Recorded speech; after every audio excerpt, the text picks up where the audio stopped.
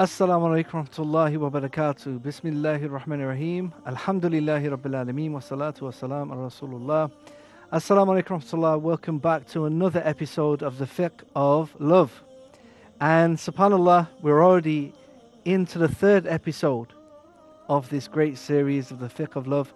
And we'd like to welcome back our Sheikh, Dr. Muhammad Salah. Assalamu alaikum, Sheikh. Wa alaikum assalam wa rahmatullahi wa barakatuh. Welcome back. Yeah, Jazakallah khair. Thanks for joining us again. Thank you. Mashallah, so far it's been a very exciting beginning to this series. We've, love is always exciting. Yeah, I love you for the sake of Allah. and uh, subhanAllah, you know, uh, on the last episode, mashallah, you gave some great examples, practical examples from the stories of the prophets you men- sallallahu alaihi wasallam, and all the prophets. Uh, where you mentioned the story of Musa alayhi salam, you know the way he found love, you know, and, and began his journey through marriage. Also, you mentioned some of the lustful, haram types of love, mm-hmm. you know, and you gave some practical examples within the Quran, the way the woman tried to impose herself on Yusuf alayhi salam. Subhanallah, you know, going back to the Quran and the Sunnah for this guidance really you know, gives us that sense of that, that you know, it really does open our eyes to the correct way of doing things. You know, in this day and age, we're living in a time where there's lots of different deens, uh, different ways of life. You know, they, they have different religions, the, the secular wa- way of life, Hollywood and Bollywood, and many people are taking their their guidance from other sources. You know, and especially when we're looking at Hollywood and Bollywood and Nollywood and all these different types of uh, film industries where they have this haram type of love. You know, and a lot of the time people are expecting something that doesn't actually exist.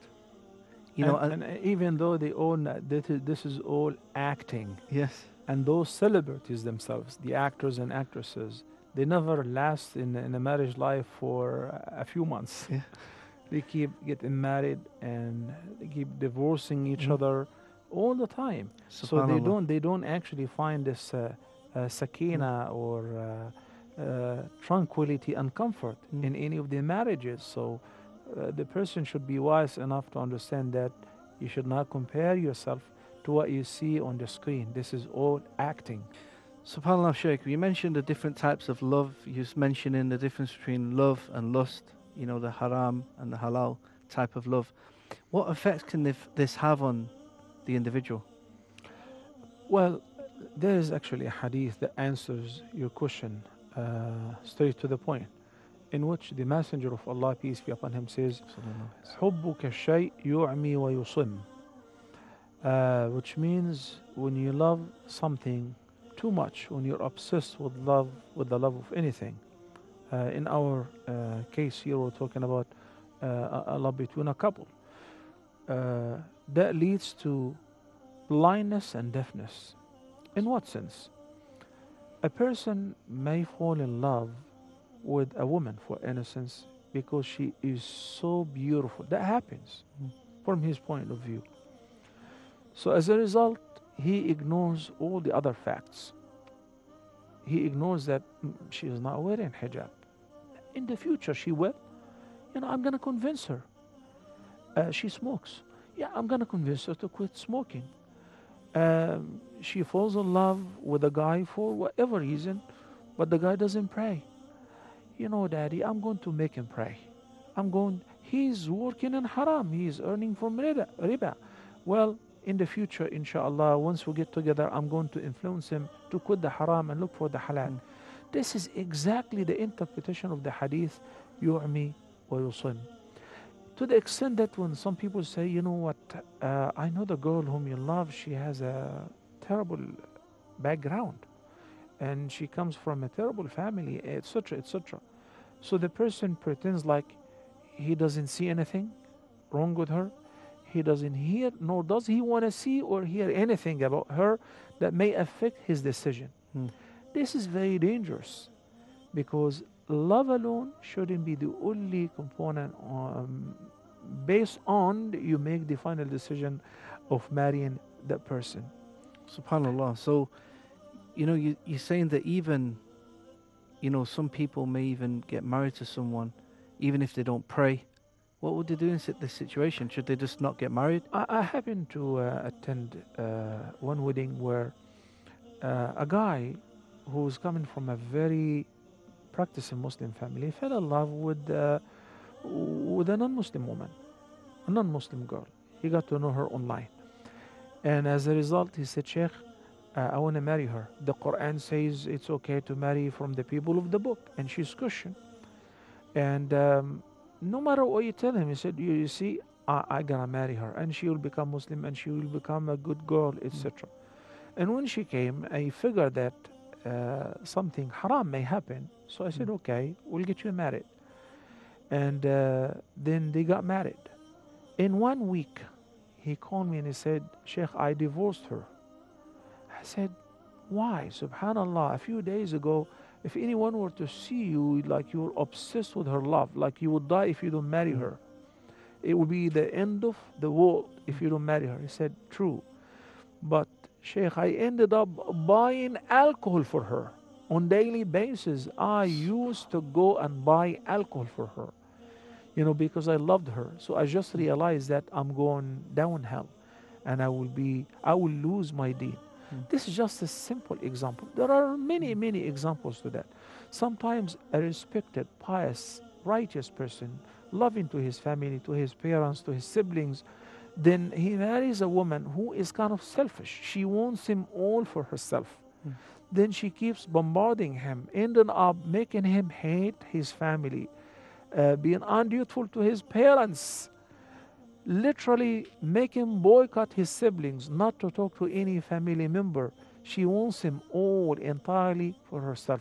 A man should be wise enough not to let this happen. Yes, I Allah. love you, but I love my parents more.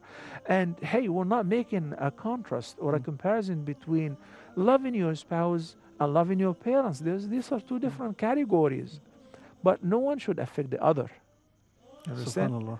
So, uh, understanding that loving your spouse Mm. should not lead to severing the ties of your kinship, particularly your parents and your siblings, is very important. Like you're saying, it's your not just your duties as a husband, but to your religion as well. You know, to your family, your community, of course, of your own, uh, you know, religion, your own worship to Allah. absolutely, absolutely, of course. Subhanallah, this is a. So, so Sheikh, for those, for instance, who are, you know, they don't necessarily have love, okay? That maybe their family have uh, introduced them to uh, a sister. He's happy with what he sees. They get married, but he, they're a bit worried, you know, because they've been raised with the Hollywood and Nollywood, thinking that they should be love. So, how do they now develop the love after marriage? Well, through my experience as a marriage counselor, I figured that, subhanAllah, the kind of marriage which uh, was based on that I married this girl, or I picked up the guy, or I accepted this proposal, uh, somebody introduced them to me, or uh, families introduced, uh, you know, the uh, mates to each other. They didn't know each other before. They didn't have love affair. Mm. Uh, uh, such marriages are most likely to last than the marriages which are based on love and love relationship before uh, marriage. And this is among Muslims and non-Muslims are alike. Um, I think I shared with you the study which was done by the uh, Dr. Uh, uh, Saul Jordan, Mm. the French uh, sociologist, uh, who came up with the uh, results that 85% of marriages which were uh, previously established or based on love, uh, they end up with uh, divorce. Because of the same fact mm. that, that the Prophet ﷺ said, Hubbuka shay yu'mi wa yusum. Blinds, you don't see a lot of things, mm. even though they're very obvious, but mm. you are pretending that you don't see them. You hear a lot of things, but you're acting like, you know, you never heard of them. Why? Because you're focused on one thing. I want her. Mm. Or she says, I want him. No mm. matter what you say, no matter what the whole world says about him, but you know, uh, y- you know, in, in Islam, marriage isn't only marrying an individual. It's a merge of two families into Mm. each other. Mm. So when you marry, you should keep in mind not only who's the girl or who's the guy, but also the siblings, the Mm. family. because one day your kids, when you have kids, will say to somebody, uncle. So who's gonna be your kid's uncle? Paternal or maternal? Who's gonna be your kid's uncle? Is he a drug dealer? Is he an atheist?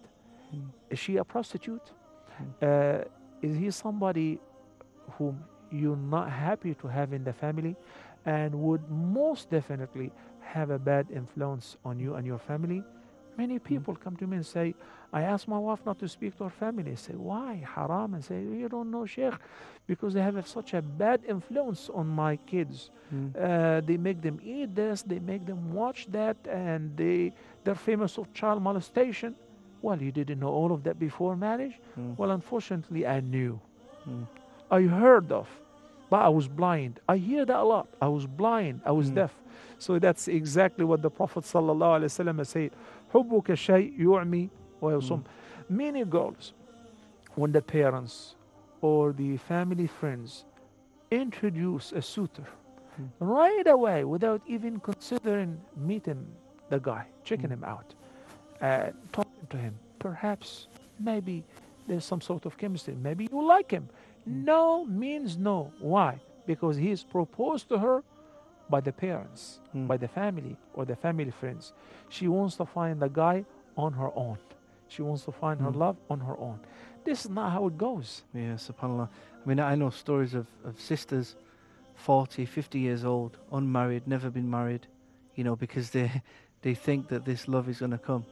Yeah. You know, subhanAllah. Fir- First of all, is we, tragic. we invoke Allah and we ask Him Mm. to make it easy for all the single men and women to get married, I mean, whether they have been previously married, then divorced, or widowed, or uh, they never been married before. But here, we're not picking on anyone. Mm. We're not casting the blame on people. It's because of you.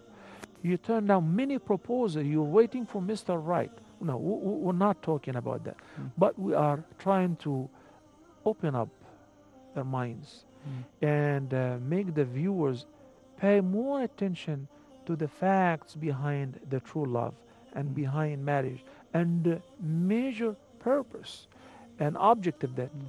um, a, a person is trying to achieve when he or she get married. It is not only about love, which is Mm. due to I like him and he likes me. Mm. He's cool. She's nice. He cares about me. Uh, she's very sweet. All of that is Mm. good, but this is not the main pole Mm. which would form a family. I think it's also kind of a, a reflection of your own uh, closest closeness to Allah. You know, if you're close to Allah, if you're you know worshiping well, as we as we should say, you know you're going to be looking for something different in a wife. You know, you're going to be looking for someone who's, you know, practicing Islam well. You know, You from, need a, from a good family. hand. Exactly. You need somebody to help you to enter paradise. Mm. You know, talking about love. Uh, once the Prophet ﷺ was sitting with his companions, he said, Al mar'atu fil jannah. The hadith means, like he was asked, if a woman got married to uh, a man and the man was righteous but he died, then she got married to another man or a third man. The first husband or the first and the second husband they passed away, and the third is a righteous man as well. So her husbands and ex-husbands were nice and righteous. Now she's a righteous woman too, and they all entered Al Jannah. Who would be her husband in paradise? Mm. Is it the first husband or the second husband? The Prophet ﷺ said that she will be married in heaven in Al Jannah to the man whom she was his wife last. Mm. When she died, she was married to this person. Both of them are righteous. They ended up in Al Jannah. She will be his wife in Al Jannah. Even though she loved her ex husband so much, but you know, uh, she married somebody else. Okay? So when uh, the Sahaba heard that, they started thinking about it. Abu Darda, may Allah be pleased with him, and his wife discussed this matter. And she said, You know, Abu Darda, if you happen to die before me, I will never, ever marry another guy after you. Why not? Because I want to be your wife in paradise. Subhanallah. Heaven will not be heaven without you. Subhanallah, Sheikh. That's So he died before her. Yeah. and she lived the rest of her life without getting married again, even though she received such precious proposals. Subhanallah. One of those proposals was by Amir al-Mu'mineen Muawiyah ibn Abi Sufyan. And she turned him and she says, you know, an offer like that should not be rejected, but I promise my uh, husband to be his wife in heaven. Subhanallah, this is the type of wife, inshallah. May Allah grant, grant all the Muslim this men thi- in the world. this is an example one. of the true love. It's beautiful, Yeah. subhanAllah. Jazakallah khair, Sheikh. We're just going to take a short break Okay. and we'll be back. So stay tuned. We'll be right back. Assalamu alaikum.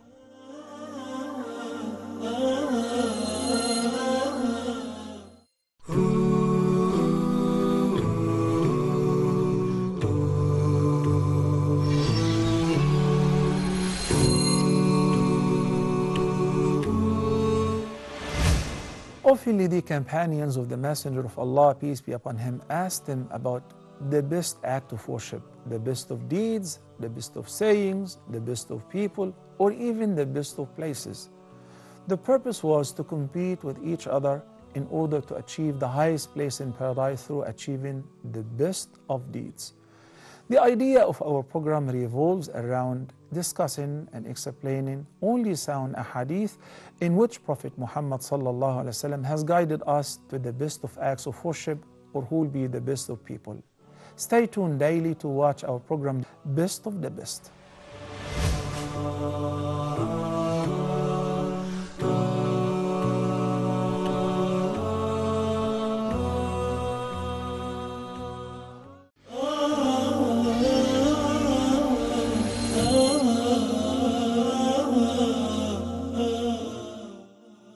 Assalamu alaikum warahmatullah. Welcome back to the fiqh of love. Assalamu alaikum, Shaykh. Wa alaikum salam wa rahmatullahi wa barakatuh.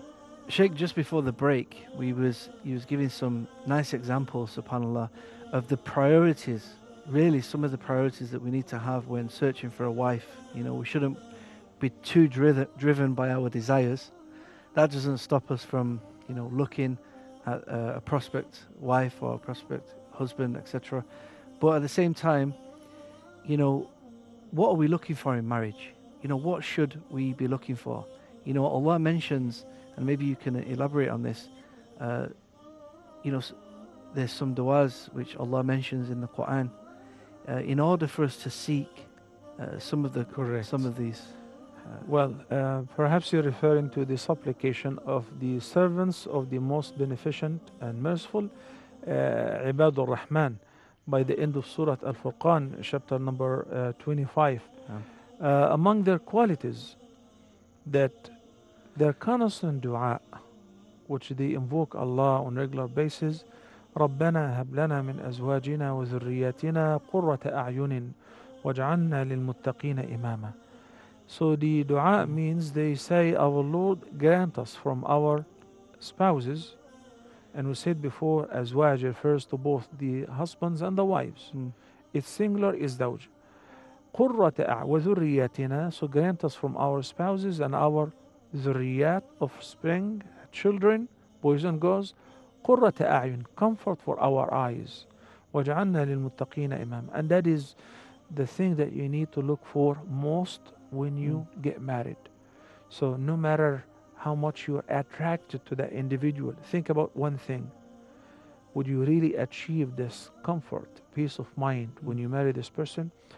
Uh, would marrying this person end up giving you a goodly offspring which will make you the happiest? Mm. And when we say the happiest and having peace of mind and comfort for your eyes, it is not the temporary one like only here. mm, You know, what happens when a person marries uh, a non Muslim woman, for instance? He says, Allah says you can marry a kitabiya, a Christian or. Hmm. So he's always worried, what if I die today? I have three kids. He's always worried that I have three kids. If I don't have kids, I would have divorced her a long time ago. Why? Because she dances, because she drinks, and I cannot stop her because she goes to the church and such and, and she insists on taking the kids with her and when they go to uh, halloween and thanksgiving and christmas eve the kids say daddy we have to go with mom so you know he says I, it's very painful for me mm. but you know i cannot say no If I say no and we break up, if I divorce her, I would lose my kids. Mm. Yes, indeed, you would lose them. And guess what? You've lost them already the Mm. day you decided to make the decision. Subhanallah. You know, in Arabic, there is a very nice uh, statement. They say, Unju Sa'd, faqad halaka Sa'id. In English, they say, if you don't learn the easy way, you're going to learn the hard way. So, before getting married, there's something called istishara, Mm. mashura, consulting Mm. people, the elders, the experts, the scholars, and uh, then istikhara, uh, asking Allah subhanahu wa ta'ala to make you the right choice, to give you the right choice. Mm. So when you ask people who have an experience, whether because they counsel many marriages, Mm. or elders, they know better than you, or people who've been in the field before you, they may give you the advice by saying, "You, not me, I'm different. Mm. Inshallah, I'm going to make her the best person on earth. And subhanallah, Yeah. in uh, a couple years ago in uh, in Hajj, I met a couple, and the sister said that, you know, I only accepted Islam this year. We've been married for 30 years. For 30 years. And only accepted Islam this year. So you keep trying for so many years. Allah subhanahu wa ta'ala knows whether it will work or not. Mm. And then you're worried about the fate of your children. Yeah. I met the girl when I was teaching at the university in the States. She introduces herself to me and she said her name is it's a it's a, it's a Muslim name. I don't want to Mm. say the name. Then obviously out of curiosity I asked her, I say, you know, that sounds like an Arabic and a Muslim name. She says, Yes, because my father is Muslim Mm. and my mother is Christian. I Mm. said, okay. And then I, uh, you know, I got to know that they are separated. And she told me that she followed, uh, she went with her mother and she followed her mother's faith or whatever. How do you feel about it as a Muslim? And if, uh, you know, if you, if you Sheikh, enter the time machine and it takes you back, would you still uh, make the same decision? Would you still fall in love and say, Mm. but I love her? You know, I'm, I'm not saying the person is bad. She's good, but for Yeah. somebody else. You know, this is this is so common, uh, especially in many parts of Africa as well.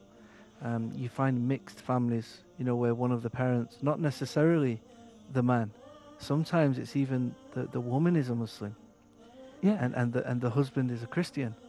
You know, and this of course this is haram. But you find this is very common in, I have in a certain case parts of the world. today where a woman, and she's a doctor, she got married to another doctor, even though many people uh, reminded her that the Quran says no. Mm. And it's not permissible in any sect, in any madhab. You know, this Yeah, is what Allah said.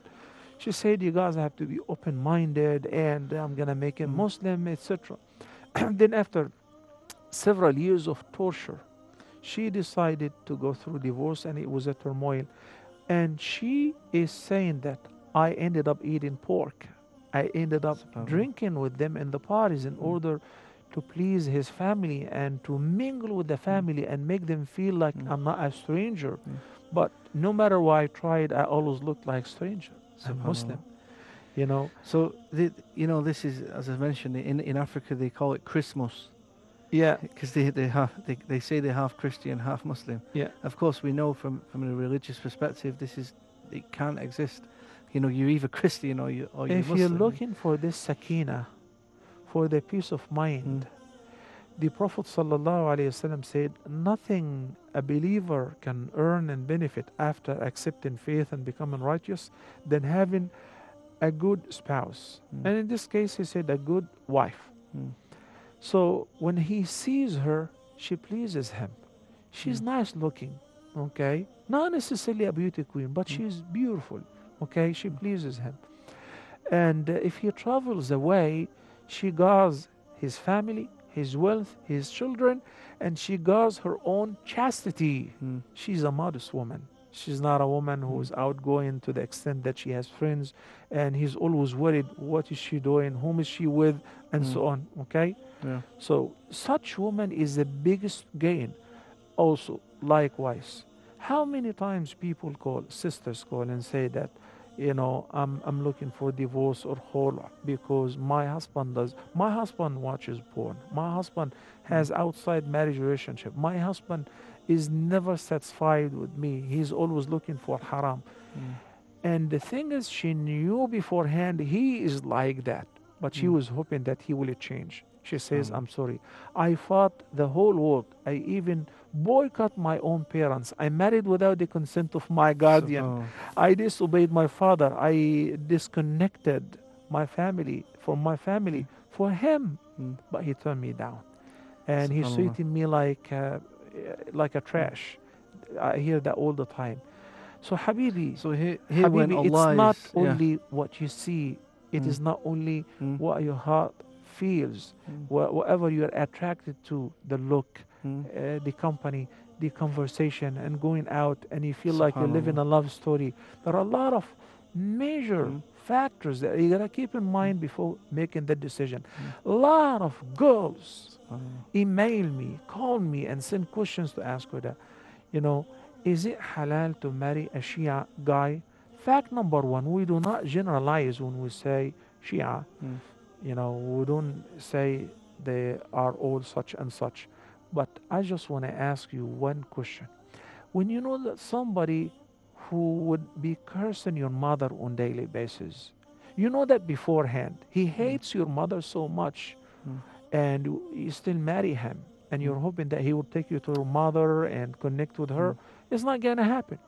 When you know that somebody who curses Aisha radiallahu anha, Mm. Hafsa radiallahu anha, and their fathers, Mm. and most of the companions of the Prophet sallallahu alaihi wasallam, and you're still hoping that I'm going to change him, I'm going to make him uh, a Sunni, I'm going to make him, he can marry a girl of his uh, type. And you marry not just a Sunni Muslim boy, but a righteous person, Mm. a righteous uh, husband, a Mm. righteous father, so that you know, in case that your iman uh, Mm. goes low, he helps you out to increase the level of your iman. And the husband likewise, when he marries a woman who is righteous and belonging to a righteous family, she will definitely help him out to improve as well. Mm. You know, Allah describes them as garments in the Quran. You know, He says they are. They, I love this they- ayah. هن لباس Subhanallah. لكم وأنتم لباس لهن. Subhanallah. You know, this is libas. Mm. And my uh, the undershirt is libas. Mm. The closest thing to your body is your undergarment. Mm. It's called libas. Mm. You know how this is explained? The Prophet ﷺ said in the hadith, احفظ عورتك إلا من زوجتك.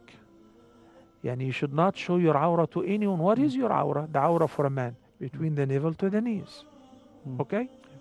You're not supposed to show it to no one. Even when you're sitting before your dad, Mm. not only your mom and your sister, your siblings, your parents, cover up your aura. Mm. But before your wife, Mm. you and her are only one thing. هن لباس لكم وأنتم لباس لهن. they are your garments and you are to them their garments. Mm. And that's why the Prophet ﷺ warned severely against after becoming like garments. By the way, the ayah doesn't say like, rather it says they are your Mm. garments. Mm. Are actually your garments. Mm. Your cover up. Yeah. You know, they conceal your faults, your drawbacks, your shortcomings. They protect you. Exactly. Subhanallah. So whatever happens, Mm. whatever goes on behind closed doors is not supposed to be revealed to no one. Inshallah. Not even to your siblings, not even to your friends when you're having coffee together, watching a movie, your Mm. close friends. You don't say, last night me and wife did this and this and this and this. And last night we tried a new sexual position. Yeah. This is absolutely Yes, haram. It's a major sin. The Prophet sallallahu alaihi wasallam was warning once the companions against such Mm. behavior. Uh, I said, be careful. I hope you're not doing so. So somebody said, Oh, yes, they do, men and women. Mm. So the Prophet ﷺ said, Oh, that's such like a Satan, male and female Satans. They met across the street and they have sexual relations in front of everyone. Mm. You know, you become like shaitan Mm. and you expose yourself and you expose your spouse. Nope. Subhanallah. That is This absolutely forbidden. You know, like somebody who, who displays their underwear Subhanallah. before people. No one. No one who's wise Mm. and nice and modest. So no one Shaykh. should should share anything that goes Mm. on in the privacy of their bedroom Mm. while sharing bed with Mm. anyone else. With anyone Shaykh. else. Sheikh, I'm sorry to cut you there, subhanAllah. Very uh, informative points, subhanAllah, very important points we've been through today. Um, thanks for joining us again. You're most welcome. And uh, inshallah, next episode we'll pick up where we left off and carry on. So make sure you join us next time for another episode of the Fiqh of Love. Assalamu alaikum wa rahmatullahi wa barakatuh.